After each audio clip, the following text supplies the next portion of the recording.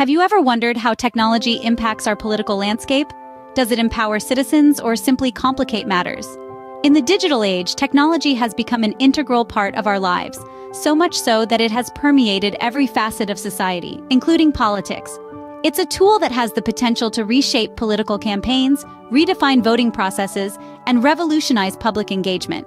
Consider political campaigns, for instance.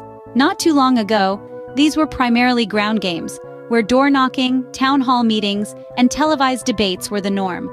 But today, technology has transformed this sphere completely. Social media platforms, data analytics, and targeted advertising have become key elements in winning hearts and minds. They enable politicians to reach wider audiences, tailor their messages to individual voters, and engage with them on a personal level. And then there's the voting process. Traditional voting methods, while reliable, can be time-consuming and inconvenient. But technology offers solutions that can make voting more accessible and efficient. Online voting, for example, could potentially increase voter turnout by making the process more convenient. Similarly, blockchain technology holds promise for making voting systems more secure and transparent, thereby enhancing trust in electoral outcomes. Public engagement, too, has been revolutionized by technology. Gone are the days when citizens had to wait for town hall meetings or public consultations to voice their opinions. Today, digital platforms offer a space for continuous dialogue between politicians and the public. They allow citizens to express their views, ask questions, and even contribute to policymaking, thereby fostering a more participatory democracy. But as much as technology has the potential to empower, it can also complicate matters. Issues like misinformation, privacy breaches, and digital exclusion can undermine the very benefits that technology brings. As we navigate this digital political landscape, it's essential that we address these challenges, ensuring that technology is used responsibly and inclusively. Now let's delve into a case study that illustrates the power of civic tech in a political process. Consider the story of Taiwan's V-Taiwan project, a shining example of civic tech in action. This project, launched in 2014, epitomizes how technology can be harnessed to foster democratic engagement and propel positive change. At the heart of the V-Taiwan project is a unique approach to democracy, one that leverages the power of the internet to involve citizens directly in policymaking. By using online platforms, the project facilitates open discussions among citizens, government officials, and experts. These virtual town hall meetings provide a space for everyone to share their views, deliberate on issues, and collectively shape the policies that govern their lives. One of the project's most notable achievements is its work on the regulation of Uber. When this ride-sharing giant entered Taiwan, it sparked a heated debate. Traditional taxi drivers felt threatened, while many citizens embraced the convenience Uber brought. To resolve this, the V-Taiwan project stepped in and launched an online discussion. Thousands of citizens, taxi drivers, and Uber representatives participated, each sharing their perspectives. The result? A policy that balanced the interests of all parties. Uber was allowed to operate, but under strict regulations that protected the livelihoods of taxi drivers. But V-Taiwan's success doesn't stop there. Another commendable instance was its work on online alcohol sales. The Taiwanese government was considering a total ban due to concerns about underage drinking. However, through V-Taiwan, the public was able to voice their thoughts. Many pointed out that a total ban would hurt small businesses and suggested alternative solutions, such as stricter age verification. The government listened, and instead of a blanket ban, they implemented regulations that addressed the issue without stifling commerce. These stories illustrate the power and potential of civic tech. They show how it can facilitate dialogue, bridge divides, and create policies that reflect public sentiment. But more than that, they underscore the importance of citizen engagement. Because at the end of the day, it's not just about the technology, it's about the people using it. It's about ordinary individuals stepping up, getting involved, and making their voices heard. The V-Taiwan project is a testament to what can be achieved when citizens take an active role in governance. It shows that when given the right tools and opportunities, people can shape the laws that govern their lives. They can influence decisions that affect their communities, they can make a difference.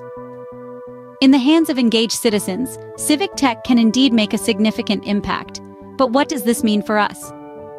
It means that we too can play a part in shaping our societies. It means that with civic tech, we can turn the tide of politics, making it more inclusive, more democratic, and more reflective of our collective will. So let's embrace civic tech and harness its potential for the greater good. This case study shows us that civic tech can empower citizens in the political process. Now let's delve further into the potential of civic tech. At its core, civic tech is like a bridge, a bridge that connects citizens and governments. It's a bridge that's built on the pillars of transparency, engagement, and democracy. Transparency, the first pillar of this bridge, is all about offering citizens a clear view into the workings of their government. With civic tech, no longer are the wheels of bureaucracy hidden behind closed doors. Think about it. A world where every citizen can see how their tax dollars are being spent, where they can access public records with just a few clicks. That's the power of civic tech. It's like a torchlight shining on the dark corners of government processes. The second pillar, engagement, is about fostering active participation. Civic tech isn't just a one-way street where governments send out information. It's a two-way dialogue. It's a platform where citizens can voice their opinions, share their ideas, and contribute to decision-making processes. It's like a town hall meeting, but on a much larger scale, and without geographical limitations. The third pillar, democracy, well, that's the bedrock of the whole structure. Civic tech promotes democracy by ensuring every voice is heard. It's like a megaphone for the people. It amplifies the voices of citizens, making sure that everyone, regardless of their location, age, or socioeconomic status, can take part in the democratic process. It's about leveling the playing field, making sure that everyone has a seat at the table. The potential of civic tech is enormous. It's a game changer, a disruptor. It's transforming the way we interact with our governments, the way we participate in political processes, the way we exercise our democratic rights. But like any tool, the efficacy of civic tech depends on how we use it. As we look to the future, we can only expect the role of civic tech to grow. Imagine a world where we have seamless access to our government and public services, where our voices as citizens are not just heard, but actively sought. That's the promise of civic tech. It's an exciting time for this field as we continue to explore its potential. We predict a future where civic tech becomes a staple in our political processes. For instance, blockchain technology could revolutionize voting systems, making them more secure and transparent. Artificial intelligence could help in analyzing public opinion on a massive scale, ensuring every voice is accounted for. Imagine a future where policy decisions are data-driven, based on the collective intelligence of the populace. But as with any new technology, challenges lie ahead. We must ensure that this technology is inclusive and accessible to all, not just the tech-savvy. We must also address privacy and security concerns. As we increase our reliance on digital platforms, we must equally strengthen our defenses against cyber threats. Another challenge is the digital divide.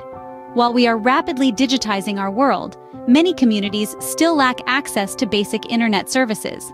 This could potentially lead to a new form of inequality, the digital divide.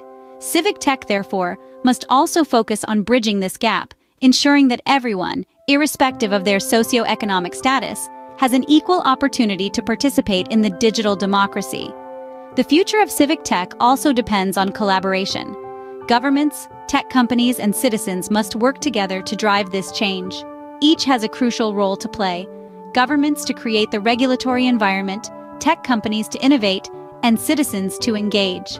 The potential for civic tech to reshape our political landscape is immense, but it requires a collective effort to realize this potential. It's not just about creating new technology, it's about creating a new culture of civic engagement where technology empowers every citizen. It's clear that civic tech has the potential to reshape our political landscape for the better, but only if we choose to harness it. So, what have we learned about civic tech and its empowering role for citizens in political processes? We've discovered that technology can be a powerful tool in politics, helping to bridge the gap between citizens and their governments. It fosters transparency, enables participation, and ultimately strengthens democracy. We've seen civic tech in action, in the inspiring example of the vTaiwan project. This innovative platform has facilitated a vibrant and inclusive conversation on public issues, allowing citizens to contribute to the decision-making process in an unprecedented way. We've also looked into the future of civic tech, which holds immense potential. As technology continues to evolve, so too will the ways it can be utilized to empower citizens in political processes. And finally, we've reaffirmed that the power of civic tech lies in our hands. It offers us the opportunity to reshape politics, to make it more inclusive, more participatory, and more democratic. Technology in the form of civic tech truly has the power to democratize politics. It's up to us to use it wisely.